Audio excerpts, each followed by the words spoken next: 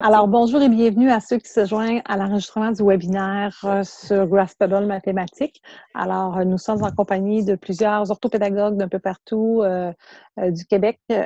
C'est une formation, un webinaire offert en collaboration avec le Service national de l'adaptation scolaire et en compagnie de, du récit de mathématiques, sciences, technologies, plus souvent connu sur MST.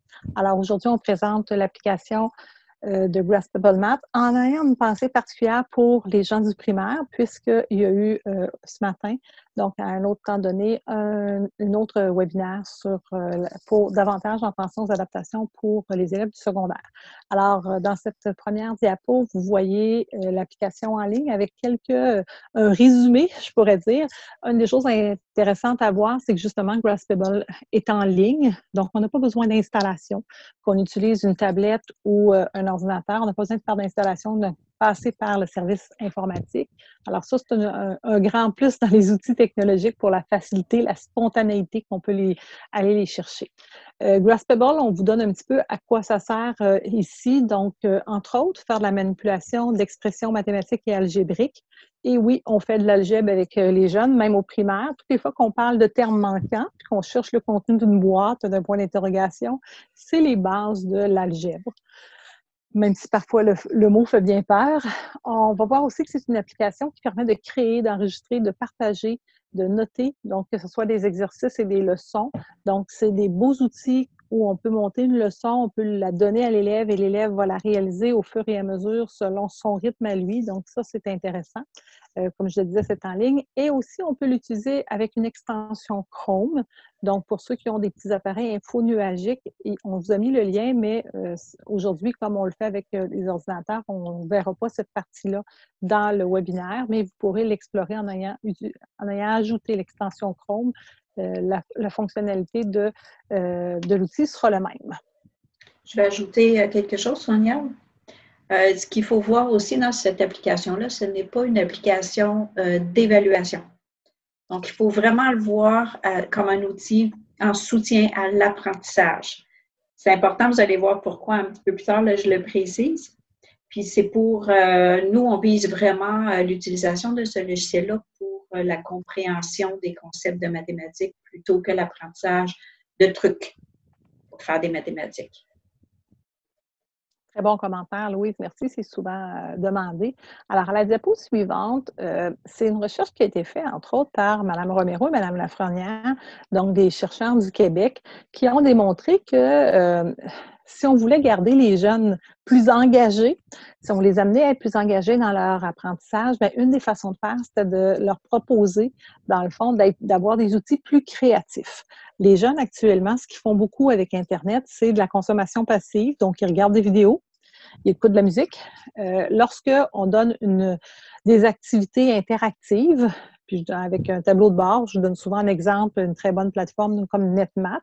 Ben, c'est intéressant, mais si on fait que des exercices, euh, un exerciceur, ben, les élèves ne seront pas nécessairement plus engagés. Après quelques euh, exercices, quelques heures, ils ne verront pas nécessairement le plus. Alors, ce qu'on cherche à proposer, c'est vraiment des outils qui permettent davantage la création et, si possible, même la co-création, donc de travailler en équipe. Puis le but, si on arrivait vers, si on tendait vers le cinquième niveau, c'est que les jeunes, une fois qu'ils ont créé quelque chose, donc euh, pour montrer, par exemple, la compréhension qu'ils ont d'une équation, bien, au total, si on prenait les, les présentations de chacun, bien, on arriverait à avoir une connaissance collective intéressante. Et euh, quand c'est l'élève qui dit, ben c'est moi qui ai été capable d'expliquer cette règle-là, puis que c'est lui qui a fait la démonstration, il se l'est mieux approprié. Donc, l'engagement euh, de l'élève est plus grand. Alors, c'est un petit peu le modèle vers lequel on tend, donc pas nécessairement juste des exerciceurs. Donc, c'est le pourquoi de cet outil-là. Je ne sais pas si vous avez vu passer dans les deux dernières années, mais on a aussi proposé, le ministère a sorti le cadre de référence de la compétence numérique en avril 2019. Ce cadre de référence-là comporte 12 dimensions, donc les mots que vous voyez un petit peu partout. Et ce qu'on s'aperçoit, c'est que les, euh, Premièrement, une des grandes différences, c'est que ce, cadre de référence-là est prévu autant pour les élèves que pour les enseignants. Donc, pour les membres du personnel, c'est les 12 dimensions que l'on doit euh, travailler lorsqu'on fait du numérique. Et si on pense à un outil comme on a avec Graspable, bien, on a encerclé je ne sais pas pourquoi on a une petite erreur au niveau du, du il y a des cercles qui sont plus petits, là. Euh, non, c'est moi qui les, moi qui les ai mis plus petits parce que c'est ce qui vise plus, en fait, c'est ceux qui ont un trait un peu plus foncé, c'est plus visé par ce logiciel-là.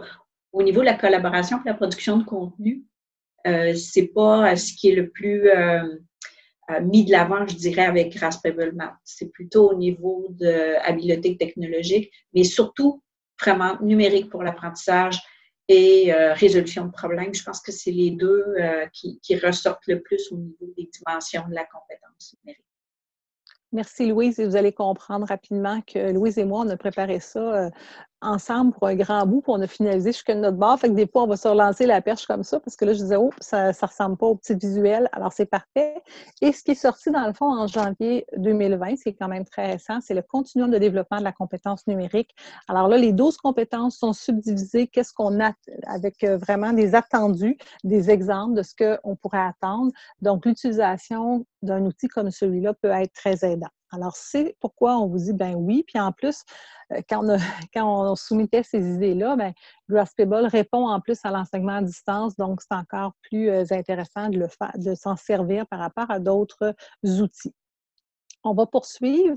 Euh, puis dans le fond, le, dans Graspable Math, des choses qui sont intéressantes, c'est bien sûr, il y a une section enseignant où on va pouvoir trouver euh, les différents tutoriels, donc apprendre comment se passe, euh, comment se, se présente et les différentes possibilités de la, de la, plateforme, mais c'est la présentation qu'on va vous faire, en tout cas, un moins un bon survol.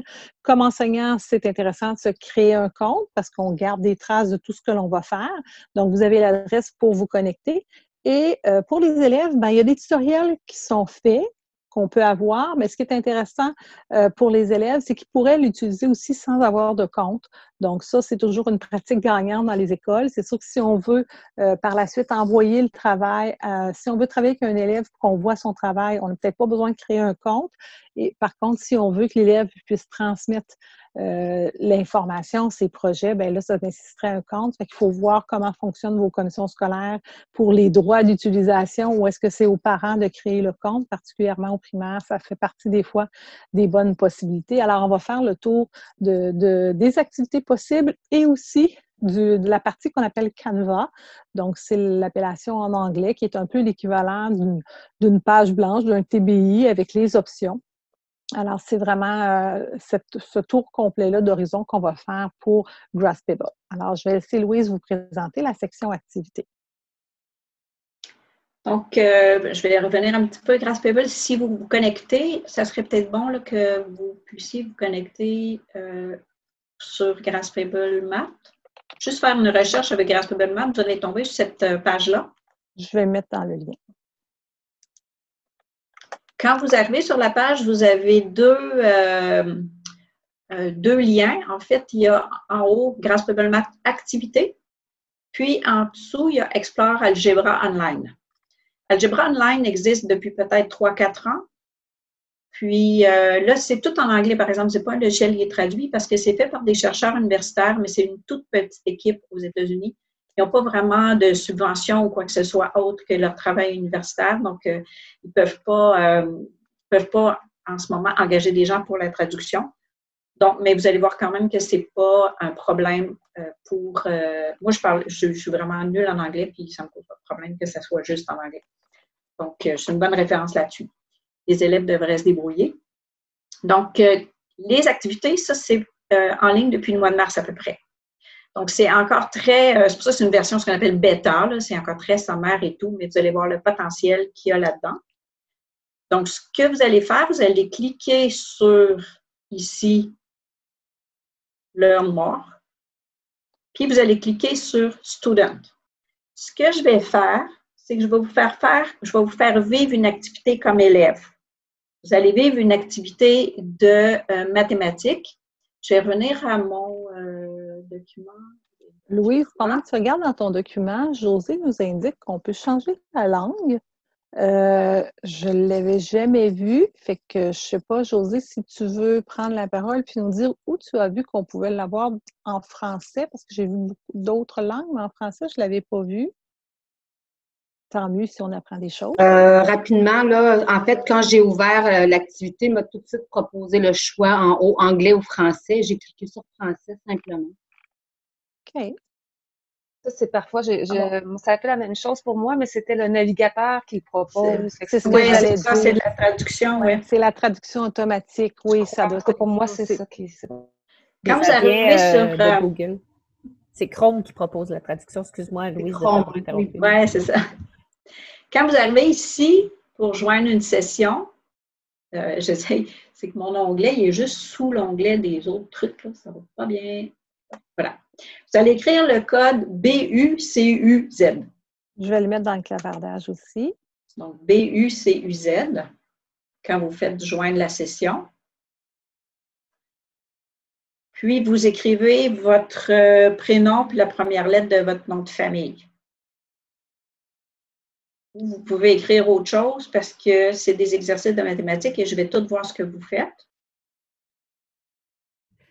On va faire attention à ce qu'on fait. oui, c'est ça. Le but étant l'expérimentation et pas l'évaluation. Hein, Non, Louise, elle l'a dit. C'est ça. C'est ça. Donc, vous allez, je vais vous laisser. Là, si ça ne fonctionne pas, vous me le dites. Mais moi, je sais que vous êtes combien. Donc, moi, je vais aller me connecter comme teacher pour euh, voir si tout le monde a réussi à se connecter à la- à l'activité.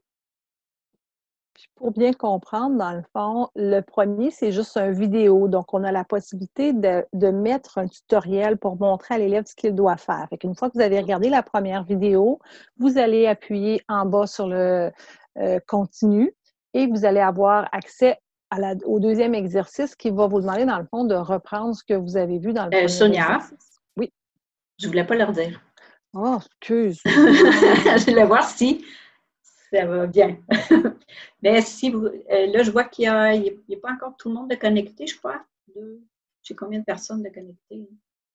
J'ai neuf personnes de connectées, dix personnes. Je voulais donner la- le, le potentiel pédagogique. Ouais, je vais le voir après. Si vous avez des difficultés, il faut nous le dire. On va vous aider. C'est ça. Donc, on vous laisse faire la tâche comme si vous étiez un élève, puis qu'on vous lançait ça. On lançait ça à l'élève, puis euh, allez-y, faites-le. Là, on est dans une démarche inductive, là. Exactement. D'accord. C'est c'est mon dada de la démarche inductive. tu vois, moi, j'étais dans l'enseignement explicite. C'est parce que je trouve que quand on regarde une vidéo, des fois, puis qu'on on est déstabilisé par euh, une nouvelle plateforme, on ne comprend pas toujours, puis qu'on se met à cliquer partout, puis qu'on ne voit pas toujours. Mais effectivement, les élèves sont très bons là-dedans, puis ils devinent à un moment donné en, en cliquant euh, ce qu'ils font. Oui, puis c'est puis c'est bien de voir aussi, euh, nous, on, on peut voir s'il y a des gens qui ont de la difficulté qui ne comprennent pas, mais on se dit on n'est pas assez clair, notre activité n'est pas suffisamment claire. Donc, en ne donnant pas d'explication au départ, on voit si c'est correct, si on comprend bien. Là, on est rendu à 12 personnes euh, d'inscrites. On était euh, 17 dans la. On était 17, disons que moi, je ne la fais pas. Moi, je suis en train de la faire là, pour. se euh, connecter peut-être.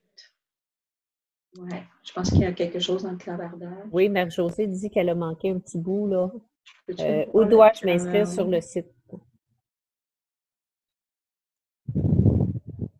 Il n'y a pas d'inscription. Euh, OK. Il n'y a pas d'inscription comme telle, mais il faut aller euh, sur Grass Paper Math, il faut cliquer ici sur Learn More. Student. Puis on écrit le code qui est B-U-C-U-Z. Euh, je me demandais, euh, est-ce qu'il faut passer par euh, est-ce qu'il faut passer par Google? Non. Pour l'inscription? Non. Non, toutes Non. les. Dans le fond, présentement, euh, Graspable, on n'est pas en compte prof, fait qu'on est en élève, fait que peu importe quel navigateur on prend, on arrive et il nous demande de rentrer le code classe. C'est l'avantage, c'est que les élèves n'ont pas besoin de se créer de compte. Alors, on peut travailler comme ça euh, de façon. euh, José, euh, je comprends que tu as besoin qu'on répète. Euh, alors, une fois rendu sur le site, tu vas dans Learn, le- apprendre plus. J'aime mieux le dire en français, mon accent n'est pas super bon. Learn more. Puis, Ah, quelqu'un qui a écrit. hein. Oui, c'est ça. C'est Z, tu- c'est pas C, c'est Z. Tu te connectes, euh, José, à... avec euh, le code d'après. Yoden, puis avec le code. Fais-moi signe si c'était Là, correct. il y a quelqu'un qui a écrit euh, sur. Il y a quelqu'un qui a écrit un. OK, super. José Il est rendu. ici qui n'est pas bon. Ouais, c'est ça. OK, ça, Il y a c'est Cathy qui a écrit. Ouais, elle a écrit avec l'outil d'annotation. Oui, mais c'est un Z, c'est pas un S. bon. Le fait d'avoir écrit, c'était une très bonne idée. Bon, après, José, je vois multimédia. Mais après, dans le bas, là, si tu regardes, tu as continue. Donc, une fois que tu as écouté la vidéo, tu continues. Puis là, tu vas arriver à la deuxième tâche, à la troisième tâche. Puis là, tu dois faire les tâches.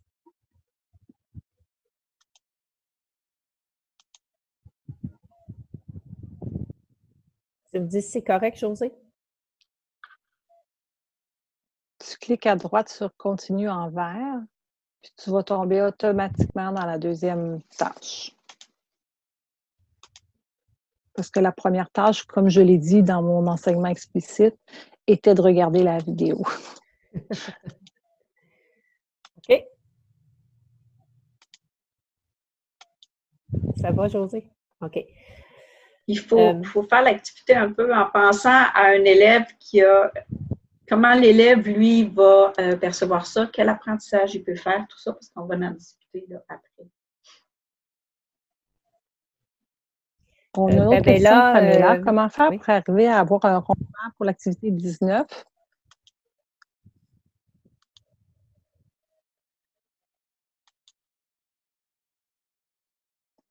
L'activité, j'ai pas compris la question. Comment faire pour avoir un rond vert pour l'activité 19? J'ai réussi les égalités, mais aucun rond vert n'apparaît. Euh, quand j'ai fait le test ce matin, Ah, il n'aura pas. euh, Une fois Il qu'on n'aura avait pas pour. C'est pas, c'est pas il n'y en un. aura pas. OK, merci. C'est pas un goal, c'est pas un but à atteindre. Quand vous avez terminé, je pense qu'il y a un truc pour terminer, je sais pas. Non, non, c'est ça, je vais tout expliquer aussi. euh. Euh, Canvas, le dernier. Il y a quand même euh, trois qui sont rendus au dernier.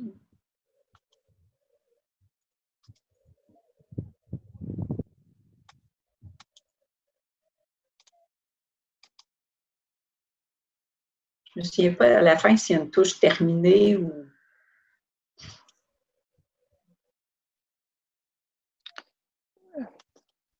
Je pense que non. Mais attends un petit peu, je vais te dire ça, j'y arrive.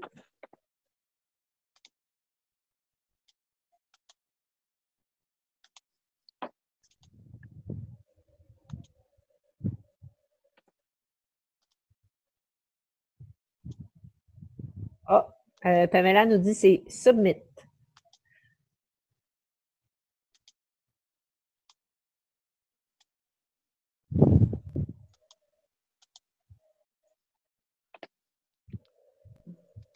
Oui, c'est soumettre. Puis le but d'avoir l'égalité, il fallait arriver à 9 égale 9, 10 égale 10, 11 égale 11. Puis une fois qu'on soumet, le rond devient vert.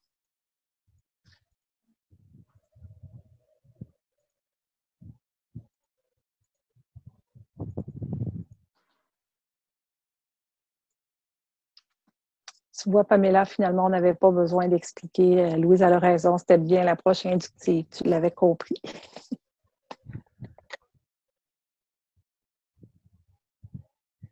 C'est normal au début, des fois, on cherche. Puis on essaie des choses, puis on le manque. C'est pas grave, ça. Après, l'élève, quand il fait sa deuxième activité, il s'en souvient comment le faire.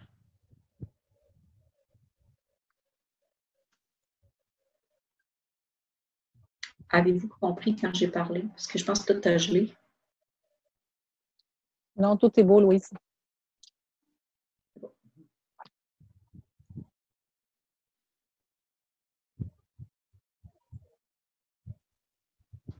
Je peux voir qui est rendu où. Là, qu'il ce qui fait? intéressant, ce que Louise nous présente, c'est le tableau de bord des enseignants.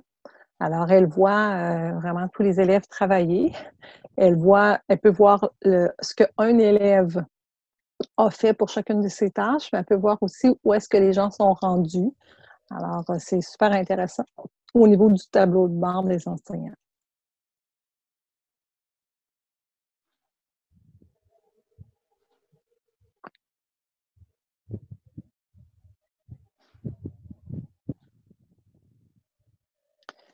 Elle peut prendre aussi, comme elle vient de le faire, là, ouvrir une tâche. C'est la tâche 19. Donc, elle voit vraiment le travail de chacune des personnes et euh, elle est capable de voir le résultat ou la démarche, donc euh, ce qu'elle peut faire, ce qu'elle fait actuellement. Donc, la démarche, on peut la, la déplier. Donc, elle est analysée, c'est quoi les chemins, les étapes que la personne a fait.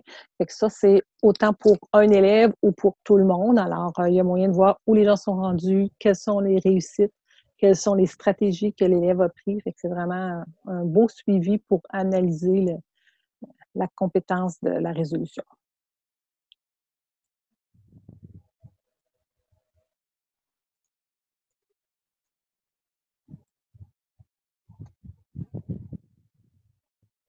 J'ai cinq personnes qui ont terminé la tâche. Il y a Carole qui nous soumet, elle a essayé de faire une erreur. C'est une bonne, une bonne idée, euh, Carole, hein, de, de, faire euh, comme un élève. Donc, tu as réalisé que tu avais fait une erreur parce que tu l'as fait exprès, tu as cherché comment faire, tu as trouvé qu'il y avait un undo. Donc, effectivement, on peut revenir une étape, on peut faire un reset. C'est là qu'on dit que les mots sont en anglais, mais sont quand même pas nombreux.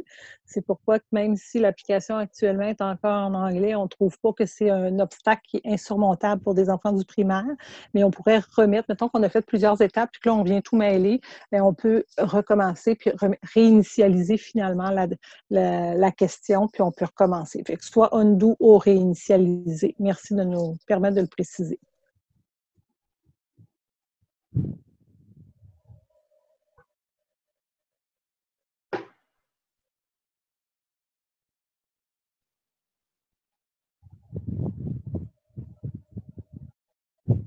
Est-ce que je vous laisse encore un peu de temps? Est-ce que vous voulez tout le terminer?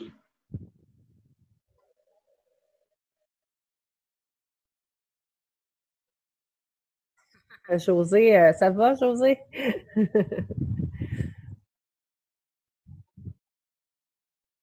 OK. Ça va pas, euh, ça n'a pas fonctionné, ce que, ton essai? C'est OK pour moi, dit Chantal.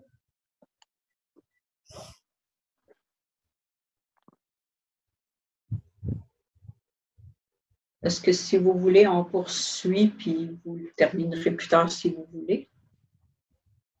Ah, super, je suis contente de savoir ça. Merci, José. José, ça a fonctionné. D'accord.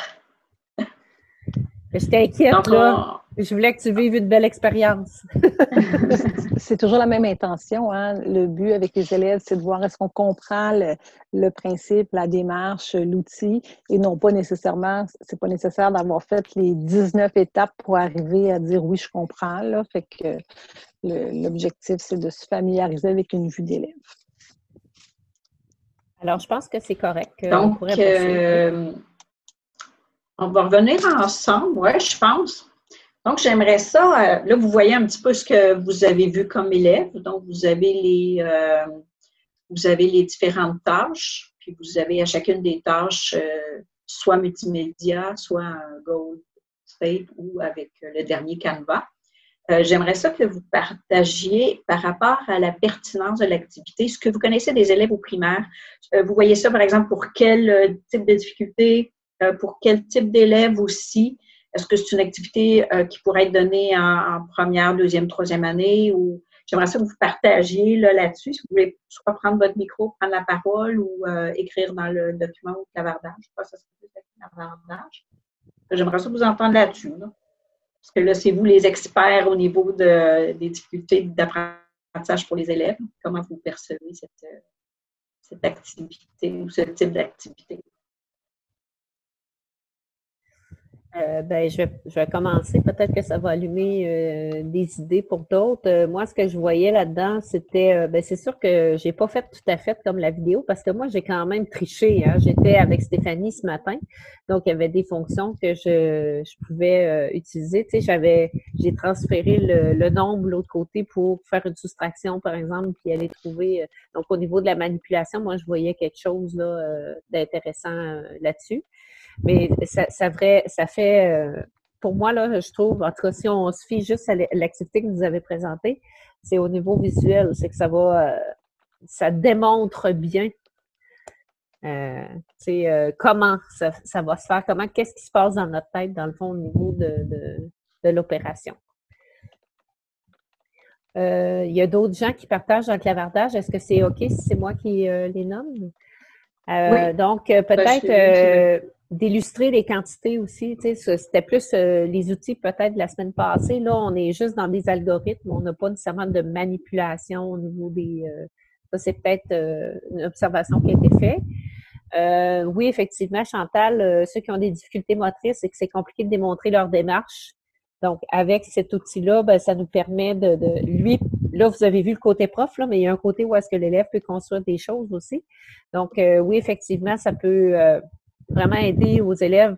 Moi, en tout cas, Chantal, là, ce que je veux dire, c'est que moi, ce que je, constate, c'est quand on travaille dans Word, par exemple, puis on veut mettre des algorithmes, comment on utilise le numérique pour que l'élève nous partage, tu sais, au lieu que ça soit sur le papier, là.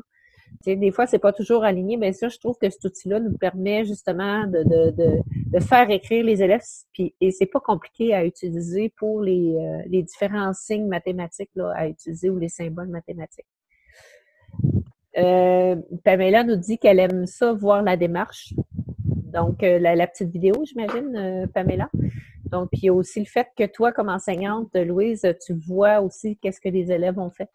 Donc, toi, tu sais aussi quel élève a plus de difficultés. Donc, tu pourrais mettre ta vidéo sur cet élève-là en particulier ou sur les... Tu vas plus aller voir ceux qui sont plus en difficulté. Est-ce que j'ai bien résumé vos idées ou peut-être vous voulez prendre la parole pour compléter ce que j'ai dit? De toute façon, vous pouvez euh, euh, intervenir aussi n'importe quand. Moi, je me oh. permettrais d'ajouter quelque chose que je trouve bien important euh, au niveau de l'enseignement des euh, vraiment des équations mathématiques, des expressions. Euh, c'est une des choses qu'il faut, qui est important pour penser aux résolutions de problèmes, c'est qu'on essaye, c'est une bonne habitude, de mettre tous les symboles égalité au même endroit. souvent, les élèves, quand ils se mettent à écrire sur une feuille standard de, de, cahier, ben, ils vont commencer, puis les égalités, là, ils, viennent un petit peu partout, puis ça devient des fois difficile de suivre c'est quoi leur démarche. Et là, je trouve que, euh, autant des fois, les gens nous disent Ah, ben les logiciels, ça fait tout pour l'élève. Euh, celui-là, je trouve que oui, il y a une partie de structure qui est là, mais je trouve que le fait d'aligner toujours nos égalités, on va le voir tout à l'heure, je sais que Louise et moi, on en a beaucoup discuté, mais tu sais, de, de, faire voir l'importance de c'est quoi une égalité euh, et le fait que ça se déroule de chaque côté de l'égalité quand on déroule la démarche, je trouve que c'est vraiment euh, un avantage que les élèves, c'est quelque chose qui ont la difficulté à écrire en papier-crayon et que, ça va être la même chose, même si on utilise un Word, là, tout va être décalé pour euh, l'espace, tandis que là, il y a vraiment une rigueur dans la façon de l'écrire et ça, je trouve qu'au niveau, oui, visio-spatial, mais oui, au niveau de l'organisation, puis je pense que ça va aller jusqu'à dire à aider à la compréhension de l'égalité. Mmh. Oui, puis je peux vous dire, euh, moi, j'ai travaillé, j'ai travaillé, j'ai enseigné euh, les mathématiques au niveau de l'éducation des adultes pendant 18 euh, ans. Et puis, j'ai vu beaucoup d'élèves qui étaient, qui avaient plus de 16 ans, mais qui n'avaient pas fini leur primaire. Ils l'ont fini parce que, bon, ils ont fait passer à un moment donné. Puis, une des grosses, grosses difficultés des élèves, c'est qu'ils ne comprennent pas l'égalité. Pour eux, A égale B, c'est pas la même chose que B, que B égale A. Puis on voit euh, le problème quand il arrive euh, avec l'algèbre. Isoler une variable, c'est une grosse, grosse tâche pour eux parce que pour eux, un égal, c'est équivalent à ça donne quelque chose. Un égal amène à un résultat. Donc, quand ils arrivent avec l'algèbre, là, ils sont vraiment, vraiment mélangés parce qu'ils n'ont pas la bonne définition, la bonne perception de l'égalité. Donc, ça, il faut vraiment que ça soit travaillé euh, tout petit, là, je pense, pour qu'il faut les reprendre bref, je vais revenir un petit peu à ce que l'enseignant voit je sais que vous étiez occupé à la tâche, mais ce que l'enseignant voit quand les élèves travaillent, évidemment, là, on est comme en synchrone, mais l'enseignant peut donner, en fait, ou envoyer la tâche à faire, comme là, on est en, les élèves qui travaillent plus à distance, on va dire à l'élève, ben, d'ici trois jours, tu dois l'avoir fait. Puis euh, l'enseignant va voir si l'élève le fait ou pas, mais ce n'est pas obligé d'être en synchrone. L'enseignant, il y a un code, puis il voit ce que l'élève fait. Fait qu'il voit tous les élèves qui se sont inscrits. Même si quelqu'un, si vous réinscrivez demain, euh, vous allez euh, le voir. On voit ici le nombre de tâches qui ont été faites par personne. Et puis, on peut voir à chacune des tâches, moi, si je, bon, vous voyez, il y a, des, il y a multimédia, Gold, Gold State, puis Canva, je vais les voir euh, tout à l'heure. Puis à chacune des tâches, je peux cliquer sur une tâche. Là, je vois toutes les personnes qui l'ont fait. Puis après ça, je peux cliquer sur une personne, puis je vois ses étapes. Donc, je peux vraiment voir personne par personne. Là, je vois ici, bon, ici, il n'y a pas d'étape. Ici, elle n'est pas tout à fait complétée. Il restait à enlever la parenthèse. ben, ça, c'est une question qu'on avait, euh, Louise, en fait. Euh, pourquoi qu'il y a des parenthèses qui apparaissent à ce moment-là euh, quand on faisait la... C'est parce qu'on est allé chercher une, quelque chose dans le... On a ajouté un nombre dans une petite case. Puis quand on, fait cette action-là, là, c'est sûr, on aurait, pu prendre un exemple où il fallait ajouter une somme, par exemple. Parce que à ce moment-là, si je rajoute une somme ou quoi que ce soit, il faut qu'il mette une parenthèse. Parce que là, ce qu'on va chercher dans la petite case, normalement, c'est quelque chose qui est comme en parenthèse. Par exemple, ma case, si je, si je voulais, si j'avais fait deux fois une case, puis dans ma case, j'ai dit il faut que ça soit une addition. Là, la parenthèse, là, on va voir pourquoi on a mis la, la, la, parenthèse. Mais ça se fait systématiquement. Donc, il faut juste cliquer sur la parenthèse pour l'enlever après. Donc, c'est par défaut, euh, c'est par défaut par le logiciel, là. Ça, ça, C'est par défaut par le logiciel, mais moi, je vais faire le lien. Tu sais, j'enseignais ces dernières années au troisième cycle où on, enseigne la priorité des opérations. Alors, euh, ça, en mettant les parenthèses, on pourrait bien dire au nombre, on vient de le substituer euh, au terme manquant à la petite boîte, mais dans le fond, le fait de le substituer, puis comme Louise a dit, puis là, on n'a pas eu de démonstration, mais si on pourrait dire, euh, tu sais, qu'est-ce qui donne 5? Bien, ça peut être 2 plus 3. Donc, on n'est pas mm-hmm. obligé de dire euh, c'est le 5. On aurait pu donner une, une, réponse à une addition, à une soustraction. Ça, les parenthèses viennent démontrer, parce que ce logiciel-là est utilisé pas juste au primaire, mais à, plusieurs, est prévu pour plusieurs égards, pour la priorité des opérations, si on le remplaçait par une addition, une soustraction, il en tiendrait compte. Puis la seule façon de le faire, c'est de le mettre entre parenthèses. Fait que ça, pour les petits, ça nous oblige à une étape de plus parce qu'il faut après effacer la parenthèse pour dire que euh, on a bien compris que c'est le tout, hein, c'est le nombre unique, mais c'est vraiment là pour penser au remplacement. Puis je trouve ça intéressant, tu sais, il y a une autre, euh, une autre tendance qui a été qui est sortie qui s'appelle Open Mendel, c'est que tu dis bon mais qu'est-ce qui donne 5 Mais tu sais qu'est-ce qui donne 5 C'est pas nécessairement 2 plus 3, ça peut être 1 plus 4, ça peut être 0 euh, plus 5, mais ça pourrait aussi être 6 moins 1. C'est d'ouvrir la possibilité à plein de choses et même avec euh, sais une demi plus. Oui, c'est ça, parce que la case ici, j'aurais pu mettre une case moins une autre case. Mais j'aurais pu dire aussi, dans la case, tu dois avoir une soustraction de deux nombres. Et Louis, ça revient à l'esprit de ce que tu viens de dire quand tu enseignais en FGA, que les élèves ont tendance à voir que 2 plus 3, il faut que ça fasse 5, il faut que ça soit une, somme, un total. Mais les élèves sont un peu déboussolés si on met la boîte en premier, puis on leur dit égal 2 plus 3, parce que justement, ils n'ont pas vraiment compris l'égalité. Donc, euh, il y a plusieurs choses. Alors, c'est un petit peu cette trace-là, puis c'est à cause du potentiel du logiciel. Fait que ça, pour les petits, je trouve que ça nous demande une étape de plus, de dire qu'il faut enlever la parenthèse, mais on peut l'ouvrir pour donner un exemple où on va mettre deux nombres et ça vient justifier pour la priorité des opérations. Ça, ça les amène vers ça, en fait. vous voyez un peu. Puis le dernier, c'est Canva.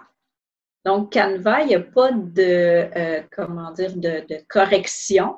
Donc là, l'élève, il fait quelque chose, puis il ne sait pas s'il l'a eu. Euh, je vais en faire un, je vais en regarder un qui est complété. On prend, moi pas un exemple, s'il te plaît. Donc, ici est complété, on voit tout ça, mais moi, quand j'approche, vous voyez, il y a un petit point qui apparaît. Puis là, je peux descendre les étapes. Donc, je peux voir toutes les étapes qui ont été faites pour chacune des opérations. Là, c'est des opérations simples, mais quand même, ça donne une bonne idée de, ce qu'on peut voir. vous voyez un petit peu le potentiel de, faire des activités. évidemment, ce, sont des activités d'addition, mais on peut aller, euh, avec ce logiciel-là, on, peut aller jusqu'au cinquième secondaire, parce qu'il y a toutes les, fonctions aussi. Donc, je vais, revenir à, la page quand on se connecte. je aller. Je vais aller là. Voilà. Quand on ouvre euh, la session enseignant, teacher, on peut, bien, normalement, il faut se créer, un compte. Quand on veut aller dans Teacher, on veut faire du matériel, il faut se créer un compte, mais vous pouvez vous, créer, vous connecter avec votre compte Google, par exemple. Donc, quand on a un compte, là, le premier, euh, il y a juste trois onglets ici. Le premier onglet dans le menu, ben, c'est des euh, vidéos explicatives. Bon, évidemment, c'est tout en anglais. Ensuite, euh, vous avez la banque d'activités. Dans la banque d'activités, vous avez trois onglets en haut. Le premier onglet, je me rappelle la première présentation que j'ai faite, il y avait à peu près une trentaine d'activités. Puis regardez, il y en a de plus en plus. On est rendu à 77. Ce sont les activités que les gens ont faites et qui ont rendu publiques. Puis quand sont publiques, on peut les utiliser pour faire une session. La session, c'est l'activité que je viens de faire avec vous, c'est une session. Ou je peux euh, la regarder. Là, je regarde ici, euh, je vais en regarder une en français.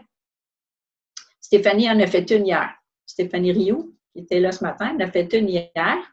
Donc, je peux la voir. Donc, je fais une preview je peux voir ce qu'elle a fait, puis euh, je peux décider après ça de la copier dans mes activités à moi pour ensuite me l'approprier, la modifier, rajouter des questions, rajouter des tâches. Donc, il y a vraiment un partage qui est intéressant je peux faire une, session directement sans, l'amener dans mes activités, mais créer une session avec, cette activité-là, si je ne veux pas la refaire. Ici, ce sont des, activités vedettes, donc vous pouvez les prendre là, puis après ça, pour les travailler si vous ne voulez pas partir de, rien. Puis dans mes activités, il y a celles que j'ai créées moi-même. Vous voyez qu'il y en a quelques-unes que j'ai mises publiques. Les autres ne sont pas publiques, c'est-à-dire qu'il y a juste moi qui les vois. Puis, euh, quand je fais une activité, je vais aller chercher l'activité qu'on vient de faire. C'est là. Donc, quand j'ai l'activité ici, j'ai trois types de tâches. Donc, j'ai la, tâche multimédia, comme, vous avez vu, c'est juste une petite vidéo qui explique. Je vais faire, euh, pas vrai. Ça, je vais faire preview. Donc, c'est juste une petite vidéo qui explique comment faire. C'est une vidéo en GIF. Il y a celle avec un but, vous avez vu, donc un but à atteindre. Puis, euh, il euh, on, on, a le bouton vert continuer quand le but est atteint. Puis, il y a le dernier qui est Canva. J'en ai juste une Canva, que là, c'est plus libre. Donc, je fais Exit ici. Puis, je crée mes tâches ici.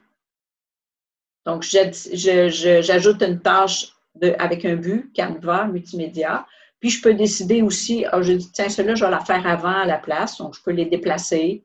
Je peux modifier mes tâches comme ça, déplacer les, tâches dans l'ordre que je veux. Je fais une nouvelle tâche, je peux la placer à l'endroit où je veux. Donc, c'est quand même assez simple à utiliser. Si je veux faire une tâche euh, avec un but, donc, ici, euh, State, je fais additionner. Je mets l'état initial. Donc, je clique ici. Qu'est-ce que je veux avoir comme tâche? Puis là, je mets mon petit carré. On va tout voir comment ça fonctionne tout à l'heure. Le but que je veux avoir. Donc, je veux avoir comme résultat 9 égale 9. Puis ici, je peux mettre un petit texte explicatif à l'élève, puisque l'élève ne lit jamais. Bien, on peut l'écrire pareil, juste pour dire qu'il y a un texte qui, est écrit. On peut mettre une photo, on peut mettre une vidéo, on peut mettre euh, des listes à plus, peu importe. Il y a même un éditeur d'équations. Euh, je me demandais, Louise, euh, est-ce que tu as vu si on était capable d'activer la synthèse vocale dans. Je n'ai pas essayé, je viens d'y penser. Ah ben, on peut mettre une vidéo, je pense euh, qu'on peut entendre. Moi, je mets, je mets juste des vidéos en format GIF pour l'instant, mais j'ai vu quelqu'un qui avait mis une petite vidéo comme YouTube. Mais vous allez voir, ouais, plus explicatif. Puis vous allez voir dans le Canva, on peut les mettre les YouTube. OK, c'est bon. Fait que si on veut travailler dans Canva puis donner, parce que ça, c'est plus pour faire des tests. Moi, je verrais comme deux utilités, les, activités comme ça. Il y a l'activité pour que l'élève apprenne à utiliser le logiciel de façon un petit peu simple. Puis, c'est une activité aussi pour permettre à l'enseignant de voir où en sont les élèves qu'est-ce qu'ils ont compris, tout ça pour après ça aller travailler avec les élèves qui ont plus de difficultés. Peut-être une affaire un petit peu plus diagnostique, je dirais. Ça peut servir à ça, puis, euh, mais c'est quand même un petit peu limité. Et puis, euh, là, c'est comme, comment construire les activités. Puis après ça, on a les sessions. Les sessions, ben ça, c'est quand j'ai envoyé une session à, faire. Donc, ici, quand j'ai, euh, je vous ai envoyé cette session-là, je peux la voir ici. Puis, si je veux, euh, ben, quand je la vois aussi, au moment où je la vois, j'ai le lien en haut ici, puis le code que je peux envoyer aux élèves. Ce que je voulais dire aussi, c'est que mon activité que je viens de faire, l'activité d'égalité premier cycle, j'ai un autre groupe, je vais envoyer la même activité, mais je ne veux pas qu'il soit mélangé avec mon premier groupe. Ben, je peux faire une deuxième session. Je refais une session avec la même activité. Donc, ça va être la même activité, mais elle va avoir un autre code. Donc, je peux avoir une activité que je me sers à des groupes différents. Comme ça, pour pouvoir euh, voir euh, séparément euh, les, performances des différents groupes. Je ne sais pas voir si j'avais autre chose. Ça, j'ai vu ça, ça, j'ai vu ça. J'ai tout vu. Donc, je résume. Les activités peuvent être partagées. Ah oui, c'est ça que j'oubliais. J'ai une activité, je l'ai faite, je la trouve super bonne je clique ici pour la partager publique. Je fais juste euh, faire le petit euh, cocher ici. C'est intéressant de mettre une description quand je la mets publique. Moi, je dis euh, d'essayer de les mettre publiques quand vous avez fait quelque chose de cute. Même si ce n'est pas parfait, ce n'est pas grave, parce que la personne qui va la reprendre, elle va pouvoir la modifier. Mais ça donne, comme vous voyez ici dans les, dans les banques d'activités, dans les banques d'activités publiques, il n'y a encore pas beaucoup de, banques qui sont en français d'activités qui sont en français. Donc, plus vous en faites puis vous partagez, même s'il n'y a pas énormément de, euh, questions ou tout ça, bien là, vous les partagez en disant bien, d'autres personnes vont pouvoir les récupérer et puis vont pouvoir les euh, vont pouvoir aussi euh, les modifier. Donc, ce n'est pas nécessaire que ça soit parfait non plus. Là, pour l'instant, bon, il y a un outil de recherche. C'est sûr que plus il va en avoir, quand on va être rendu à 3-4 000 activités, ça va être un petit peu difficile à chercher là-dedans. J'ai l'impression qu'ils vont peut-être faire un, une façon peut-être plus pour classer un petit peu mieux les, activités, parce que c'est, comme je vous dis, c'est vraiment le début. Euh, vous allez voir probablement que vous allez peut-être avoir un message quand vous allez créer un compte, comme quoi que là, c'est gratuit, mais ça va peut-être devenir payant euh, pour avoir pour pouvoir créer plus que trois activités différentes ou euh, trois sessions là, je ne sais pas si euh, ça devient payant. Je crois que ça, en tout cas, ça serait peut-être un outil qui serait intéressant avec les commissions scolaires du Québec de, euh, donner l'accès à tous les enseignants du Québec pour avoir euh, gratuitement la pleine pour pouvoir tout utiliser. Sinon, ben, si on, on, on a le droit d'en faire juste trois, euh, activités, bien, on peut évidemment supprimer les activités qu'on n'a plus besoin. On peut facilement les supprimer. Donc, on en remplace par une autre. Les sessions, la même chose. Vous avez fini une session avec un groupe, vous avez tout analysé, vous n'avez plus besoin, bien, vous la mettez à la poubelle. Vous supprimez comme ça pour ne pas en avoir trop. Ce matin, Louise. Voilà, je pense que pour euh, ce que je voulais dire pour les activités, je pense que j'ai tout dit. Oui. Oui, euh, Louise, ben, ce matin, j'ai posé la question. Oui, euh, j'ai posé la question à Stéphanie. Bien là, présentement, la version premium, en fait, la version payante est, disponible jusqu'à jusqu'à la fin juin, si euh, j'ai bien compris. Euh, à la fin juin ou juillet, oui, c'est ça. Oui. Donc, c'est le temps d'en profiter. Mm. Donc, si on veut l'explorer. mais c'est ça, la version gratuite, je pense que c'est trois activités, comme tu dis, trois sessions puis un nombre limité d'étudiants. Mais quand on tombe en version gratuite, euh, en version payante, excuse-moi, ben là, on a accès à euh, autant d'activités, qu'on, autant de sessions qu'on aura faites, puis autant d'élèves qu'on veut. C'est ça. Puis, euh, ce que je voulais vous dire aussi, que j'ai fouillé partout sur le site pour savoir comment ils vont vendre les licences, le prix. Euh, pas vu nulle part. Donc, on va voir. Puis je n'ai déjà parlé un petit peu aussi à, à des gens au niveau au ministère, là, parce que chaque fois que je l'ai présenté, c'est un gros intérêt. Je pense que ça va être euh, quelque chose qui serait intéressant de rendre ça disponible à tous les enseignants de mathématiques Québec. Ça va être à voir. Je pense que si euh, vous dites oui, c'est intéressant, on, va avec ça. Euh, fait que là, je vais passer au Canva. Quand on est sur la première page de la page, la, page d'accueil des Pebble Math, Explore Algebra, c'est le Canva. Je pense que je vais rester là. Ouais, ça. Donc, euh, le Canva, je vais vous le présenter. Il faut que je me connecte. je l'avais déjà ouvert, je crois. Je vais me connecter. OK. Donc, le Canva, en fait, le, le Canva, ça c'est écrit sur le site. Puis depuis le début, c'est écrit, ça ne sera jamais payant. C'est ce qui est écrit sur le site. Ça, j'ai trouvé ça. Le Canva, c'est juste ça. Donc, il n'y a vraiment comme pas euh, euh, d'outils tellement élaborés. Sauf que quand vous appuyez avec le bouton euh, gauche de la souris, puis vous restez appuyé n'importe où, vous voyez arriver un petit rond comme ça avec euh, trois options. Donc, l'option ici, F de X, c'est le clavier. Donc, j'ai un clavier ici qui va me permettre d'écrire les différentes activités, les différentes peu importe. Oui? J'ai entendu qu'il y avait une question. non? J'ai entendu la petite cloche moi aussi, là, mais euh, je vois qu'il y a plusieurs personnes qui essayent de cocher directement. Là, ça fait qu'il faut vraiment aller l'ouvrir euh, directement. Là. Je vous ai mis le lien dans Canva. OK. OK, donc je vais faire, je vais faire ça, voilà. Donc, j'écris mon opération. Je peux promener mon opération n'importe où, problème. Puis ensuite, ben, je peux la résoudre. Là, vous voyez ici, je veux additionner sur le plus. Regardez, soyez très, très attentifs. Je vais le mettre plus haut.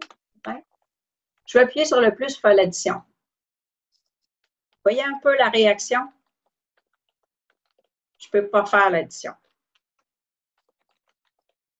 Par contre, ici, j'appuie, je peux le faire.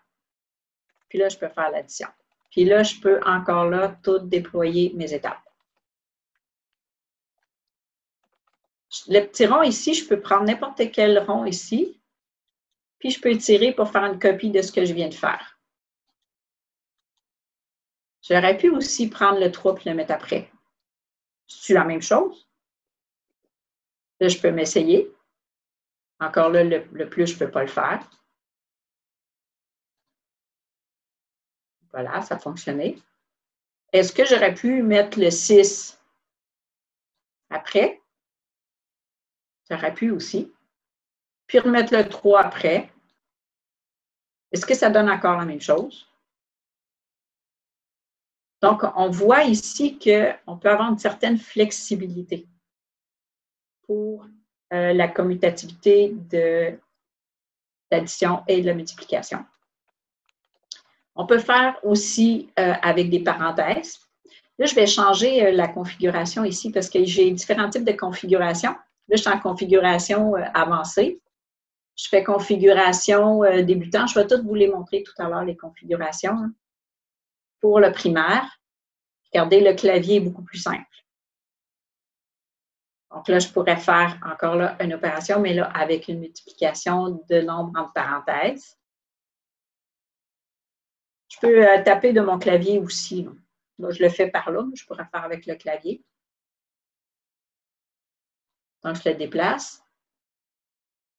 Là, je fais la, parenthèse avant. Mais est-ce que j'aurais pu faire la multiplication avant?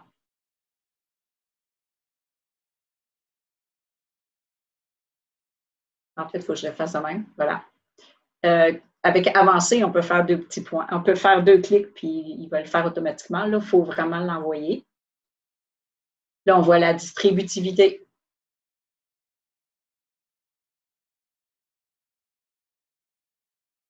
Vous m'interrompez hein, s'il y a des questions. Là, vous voyez, je descends, je descends. Là, il n'y a pas de fin à ma page. Je peux continuer.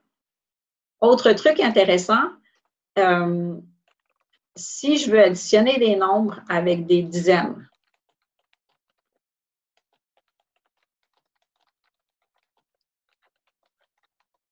là, c'est certain que si j'additionne comme ça, il va faire mon résultat. Et quand on monte aux élèves, souvent, c'est qu'on va montrer d'additionner les unités puis les euh, dizaines séparément. Donc, j'ai un bouton en haut ici qui s'appelle Keypad. Je clique dessus. quand j'approche, vous voyez que le nombre, il devient comme en surbrillance bleue. Puis là, je vais dire à l'élève, sépare tes dizaines tes, tes unités. Donc ici, ça va être 10 plus 4. Puis je vais refaire encore Keypad pour le deuxième, 20 plus 7.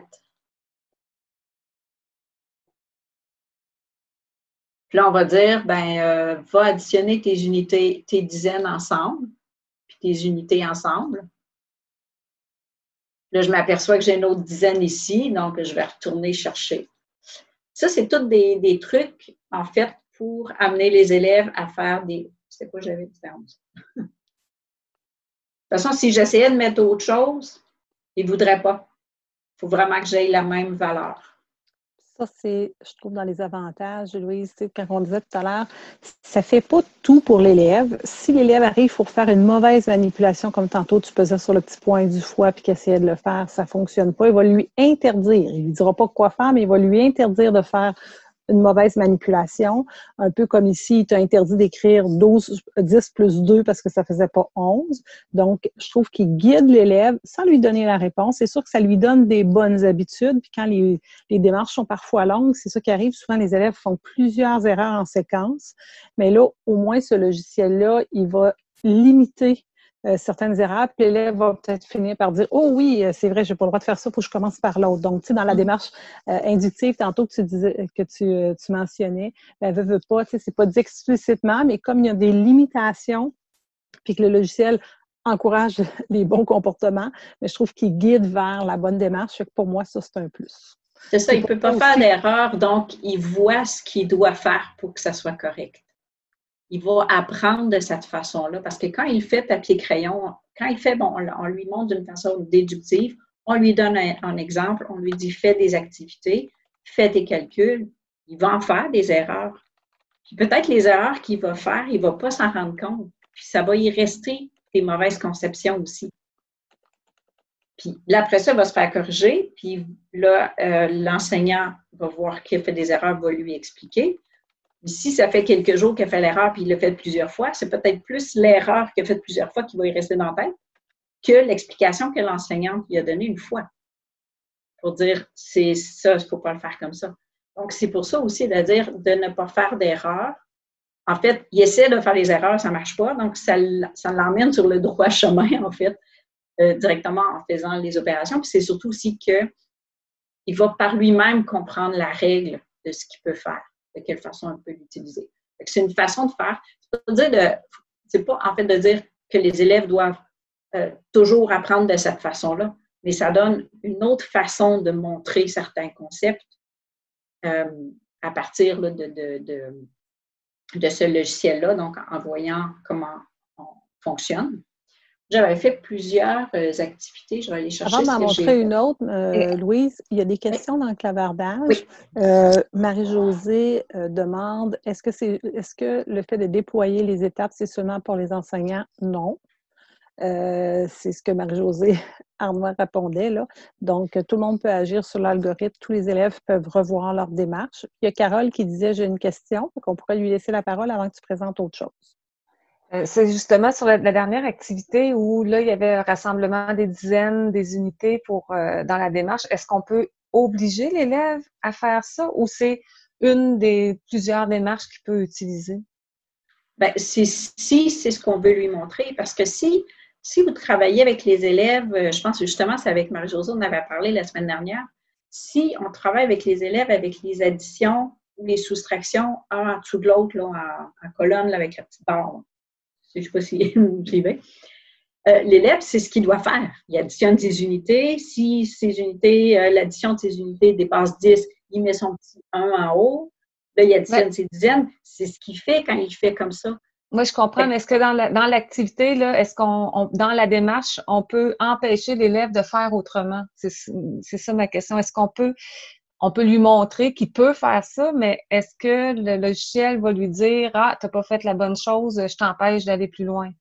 Non, si on veut l'obliger à le faire, c'est qu'on pourrait faire une activité où on lui fait, le but, c'est de décomposer avec ses dizaines des unités.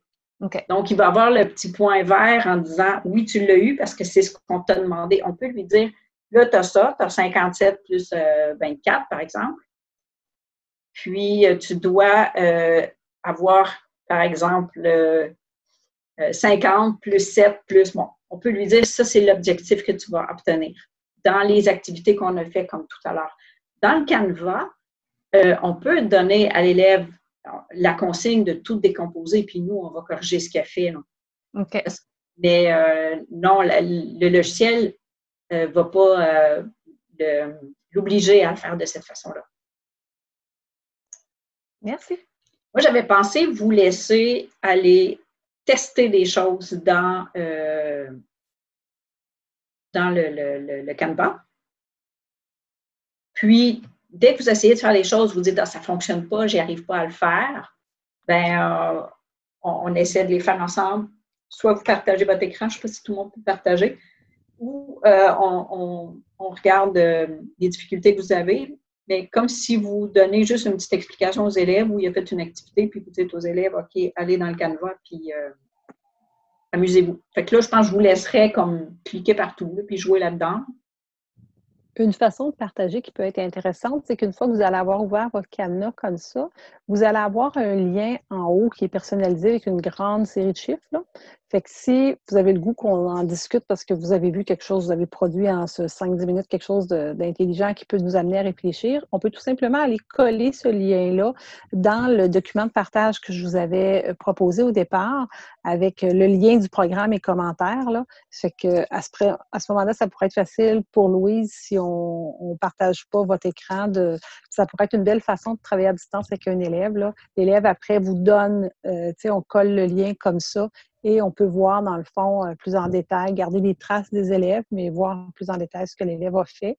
Euh, j'ai commencé à remplir aussi un petit peu la grille d'analyse avec ce que tu disais, en lien avec l'arithmétique. S'il y en a qui ont des choses intéressantes à aller ajouter, vous pouvez le faire. Je pense que pour partager, il faut absolument avoir un compte et d'avoir sauvegardé l'activité. Comme là, par exemple, euh, tu nous permets d'explorer le canevas. Donc, on a le tableau. Oui, bien c'est ça. Là. Oui, parce que si là, je vous laisse là, je vous explique tout, je le fais là, puis je vous montre. Puis après ça, on finit la rencontre. Puis vous allez demain commencer à jouer dedans. Là, vous allez avoir des questions. c'est bon. Alors, est-ce qu'on peut. Est-ce qu'on pourrait récupérer, mettons, qu'est-ce qu'il y a à l'écran, puis faire nous-mêmes les manipulations? Oui, celui-là, je pourrais vous. Euh, c'est ça, je l'ai fait exprès parce que là, j'ai mis déjà plein de choses, donc ça va être moins long à tout, euh, tout écrire. Que je vais vous partager le lien. Je pense que le lien que j'avais en haut aurait été bon aussi. Je vais le mettre dans le clavardage. Comment je On pourrait agir, on pourrait faire des manipulations, on pourrait créer nous-mêmes. Euh, euh, un algorithme, mais si on part d'un problème, euh, peut-être que ça donne des idées de quoi essayer. comme là, tu as mis mm-hmm. euh, les quatre opérations, les fractions, donc on pourrait peut-être prendre juste les thèmes et dire, OK, il faut essayer quelque chose pour chacun des, des types d'opérations, comme les fractions, comment on fait ça des fractions? Comment on fait ça intermanquant. Donc, c'est un défi que je lance aux gens qui sont dans le webinaire. Donc, ça pourrait être intéressant d'essayer, de, euh, par exemple, on peut laisser ces trois-là, puis commencer par ces trois-là, d'aller explorer des choses. je n'arrive pas, par exemple, à ouvrir le, clavardage, parce que là, je clique sur converser, puis je ne sais pas où je le vois. Peut-être en Veux-tu venir le mettre dans le document de partage ou dans le bas de la présentation, puis je le remets, moi? Parce que des fois, quand on a une autre page d'ouverte, il va se cacher en dessous. Ouais. On a vécu ça la semaine passée. J'ai appris. Et là, dans, le, dans la, page suivante, dans celle-là ici, dans les commentaires, le lien est là. OK, parfait. Alors, je, l'avais déjà mis euh, ce matin. Super. Je mets ça dans le clavardage maintenant. Vive le travail d'équipe. Essayez de l'ouvrir, voir si on va arriver tout le monde à la même place. Puis là, même si vous jouez dedans, vous jouez pas dans Non, le c'est pas ça. Excuse-moi, ce que j'ai là, c'est la configuration de Graspable. Ah non, mais il, bon. il est plus bas un petit peu. OK, attends un Il est petit plus peu. bas. OK, je m'excuse. Oui, fini par 7, je viens de voir. Je m'excuse, ce que je viens de vous mettre, c'était pas bon. C'est un autre document. on est va le voir ça. tout à l'heure, de toute façon, Oui, la configuration. Mais là, c'est- ouf, mon Dieu, ça paraît pas. Fait que je recommence activité, parce que si je mets rien devant puis que je vous mets la même affaire, on a l'impression que ça fait toute partie de. Alors, euh, allez-y sur l'activité que je viens de mettre. Puis là, vous avez accès, dans le fond, au tableau blanc, au canevas. Donc, euh, d'explorer puis d'essayer. Puis pas partir de zéro, c'est toujours intéressant. Euh, ben, bonne exploration. On se donne combien de temps pour euh, faire des essais? Vous voulez quoi, un 5 minutes, 10 minutes? Oui? 7, parce que c'est entre les deux. 7 minutes.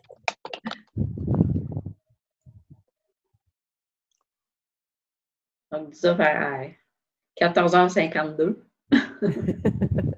Euh, je me demandais, la- moi, je ne connais pas les programmes en mathématiques, mais la priorité des opérations, est-ce que ça s'enseigne, ça, euh, Oui, au primaire? Troisième cycle au primaire. Troisième cycle, OK.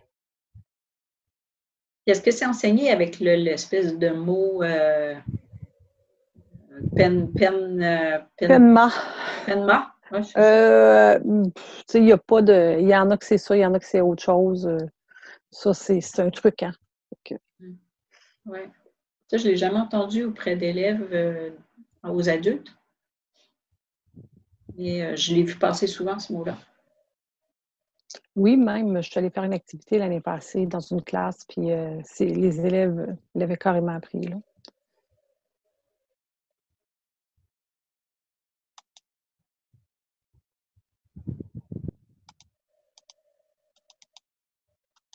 C'est vraiment le fun de déployer euh, quand on défait toute le- le- la démarche. Là. On, sur le petit point presque transparent, il faut juste glisser par en bas. Puis euh, on peut copier aussi, hein? Euh, oui, c'est ça avec l'outil capture. Tu prends ton petit Ah point non, non, que, transparent, le, le- ouais, c'est ça, de, faire des copies, oui. tu prends le petit point, tu l'étires un peu, là, puis il Mm. va faire une copie. Ah, ça, moi, les fractions, c'est difficile. Fais les termes manquants, c'est correct.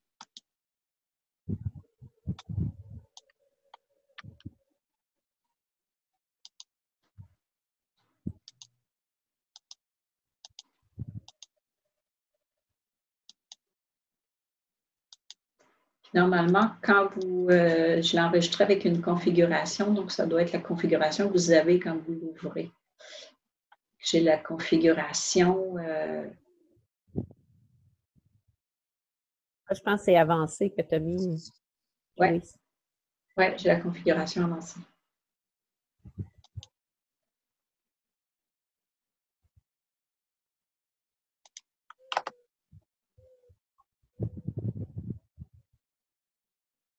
Par contre, j'ai mis le, le fois en fois ou en petit point.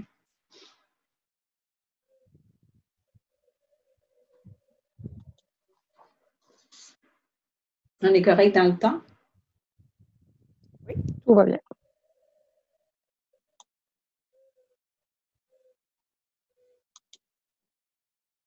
Dans les fractions, là, je vais juste vous dire, quand vous allez finir par résoudre, là, essayez de cliquer sur la barre. Vous allez voir, il va faire la réduction de la fraction. J'ai découvert ça.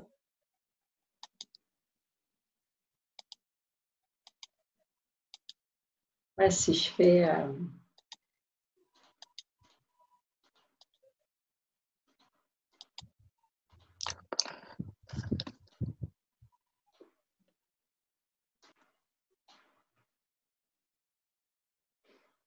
Puis il ne fait pas diviser, diviser par 6. Il décompose le nombre.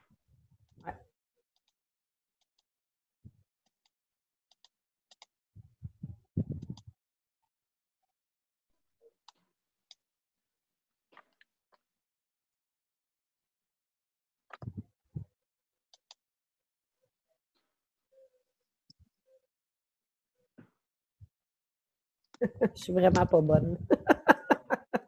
Quand ne te pas.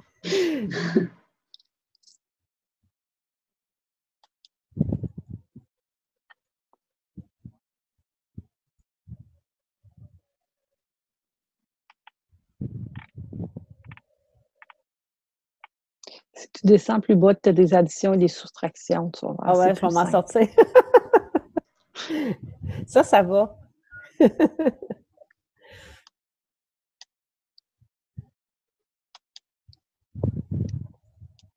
Ouais, c'est en bas, j'ai mis euh, terme change de valeur.